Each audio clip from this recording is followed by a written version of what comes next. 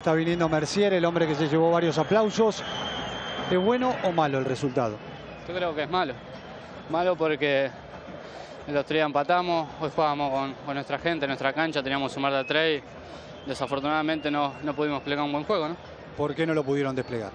Porque ellos hicieron un planteo por ahí mezquino, 4-4-2, buscar el error nuestro, que no lo pudieron, no lo pudieron ubicar y bueno, por eso se, se llevan un empate. Al margen de esto que decías, ¿no es bueno sumar en esta pelea que tienen por, por mantener la categoría también? Sí, es bueno sumar, pero a nosotros nos sirve sumar de a tres, esa es la realidad. Muchas gracias. No, gracias a vos.